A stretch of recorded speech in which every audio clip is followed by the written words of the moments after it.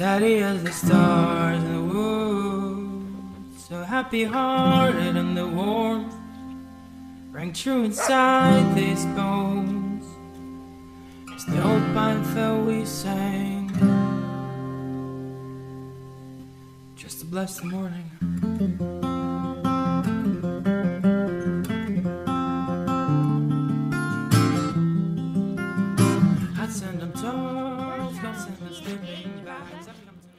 Put her out, way out here. Boy, it's getting deep.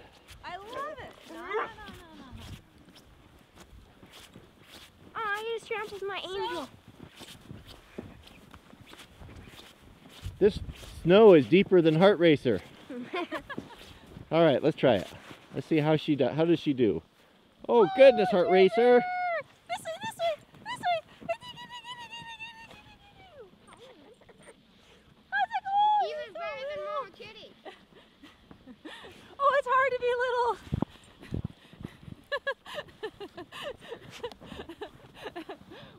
We have to get our booties, Cody.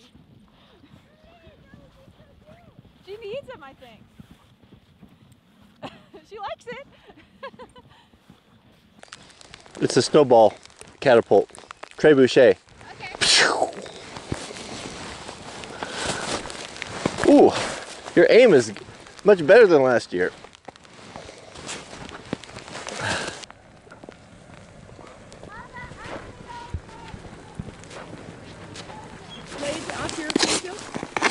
Oh, yes, please. All right. What do you think, Jackers? You snowboard next next time?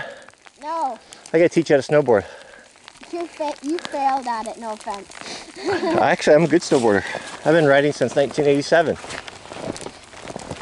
I know you're good snowboarder, but you didn't do the best on this course. Ah, well, it's not very easy in the snow pulled behind a car. It's not very easy. I fell off, what, three times? Yeah, I thought you did good though. So how much snow do we have? Probably a good foot. Oh yeah, for sure. It's getting kind of icy. That sn- plastic shovel's so good for scraping cars, This is the best snow and mulch shovel ever. It's beautiful. except for when it gets hot, then it turns into a rubber noodle. That's right. But in medium temperatures, yeah. If it's too hot, it gets all plasticky. Yeah. Let's go and sit by the fire. All right, sounds good. I'm not going in until you do. Well, you know how it is. A woman's work is never done. In case there's an emergency, I like to have the car ready. Lucy, you were very annoying today. She's awful. Such a good dog. She's, I don't know if she's not getting exercise enough, but man, has she been troublesome lately.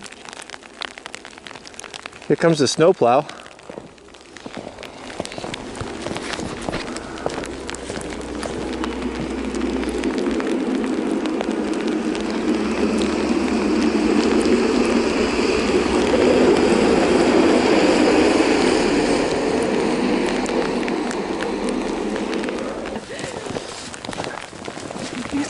I, I just have to get this. I like to shovel. I don't know why you want me to shovel. I, I want to go in. Go in, go in. I'm not going in without you. I'm getting all wet. Well, go in. I can, I can shovel without you. The snowblower's got headlights if you want to take it for a spin. Then you'd be out much longer. I, I'll go in then. All right, ladies, are you ready to go inside? You got everything ready? Need more wood? Are we good? Uh, I'll have Jack bring some firewood in. I think I think we need a um, something to hang clothes on. Huh? Well, we can off the ladder for. we can use this right here. So, love, we just had a late lunch. Do you want a dinner? I had dinner right here. Thank you, New Leaf. yes. Not in the mood to cook.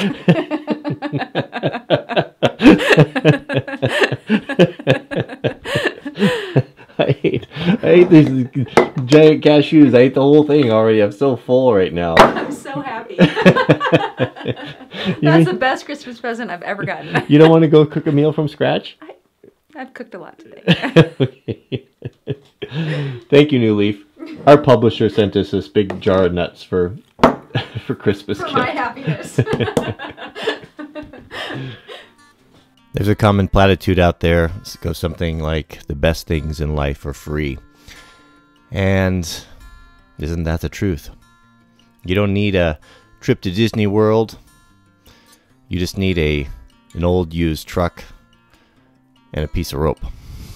Man, we had a good time today. What memories we made. I uh, just it, I guess this day just epitomized or just it's great for me to, to do these videos because in in the edit I just see that the I guess the fruit of all of our hard work, the reason why we came out. I remember, you know, it kind of brings to mind that we've been doing a lot of media interviews from the book and the questions questions are very similar. Something that always comes is did you ever question your decision or when things got really difficult and tough, did you you think about quitting?